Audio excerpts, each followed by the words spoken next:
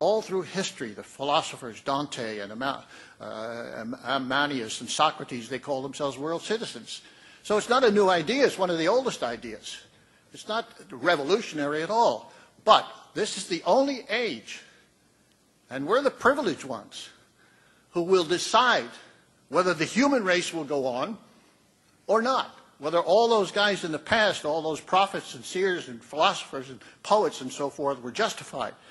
We decide, we here, in this day, in this age, and it's very, very short, decide whether the human race will continue and whether all the new, you know, the future people will be born. It's an immense challenge. And it requires intelligence and guts, courage and commitment and so forth. But it's, it's, the tools are there. When you say, talk about sovereignty, the United States is a good example of sovereignty because the first, I told Mr. Bush, I wrote him a letter. I said, the first three, you're not sovereign, Mr. Bush. The people are sovereign. The Constitution is the first three words say, we the people. And nobody knows the, I mean, very few people have read the Ninth Amendment or the, even the Bill of Rights in the United States. Very few people have read constitutions at all. But most of the constitution, state constitutions say that this constitution derives from the people.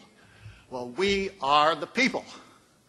And we have to exercise our sovereignty. Okay, to make a long story